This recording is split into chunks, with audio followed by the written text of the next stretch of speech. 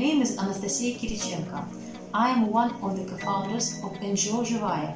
I'm cultural radical feminist because through the changes in our culture, we can change attitude of the world to women. My name is Svetlana Grigoryanz. I'm one of the co-founders of NGO Живая. Живая helps different women to be strong, to understand themselves, to fight for women rights.